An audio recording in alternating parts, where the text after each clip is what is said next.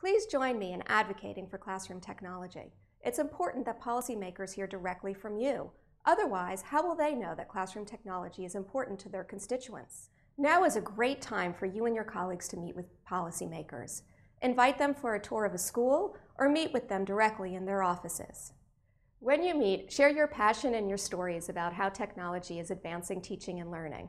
Show them how students are more engaged, achievement is going up, and students are gaining the skills and knowledge they need to succeed in today's global economy.